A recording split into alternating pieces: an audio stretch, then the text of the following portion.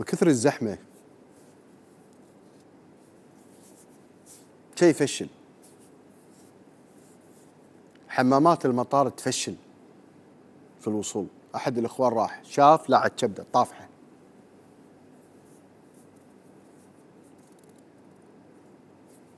على ما يسوون التوسعة على ما يبنون المطار اللي إحنا الله يعين إلى هيئة الطيران المدني. شو أخبار عمال النظافة تتابعون تتابعون نظافة الحمامات تكربون نظافة المطار.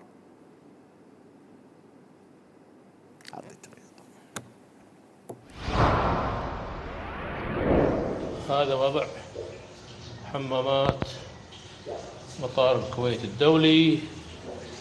هذا الوصول الماء طافح والوساخة المكان والأرض كلها ماي.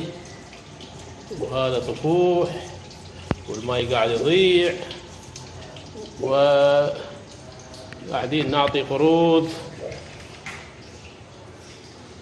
لدول حالتنا حالة وهذه حماماتنا عشرين مرة اشتكيت عشرين مرة طرشت صور عشرين مرة وأنا أحن ولا أحد له شغل.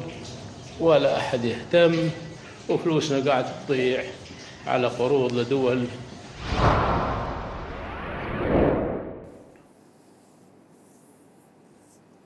في هيئة طيران مدني بالكويت يقولون فيه راح نفتح ملفه مثل إحنا ترى ما نسينا الهيئة العامة للشباب والرياضة بس بكثر المواضيع ما ادري إيش اعرض إيش أقول من كثر المشاكل.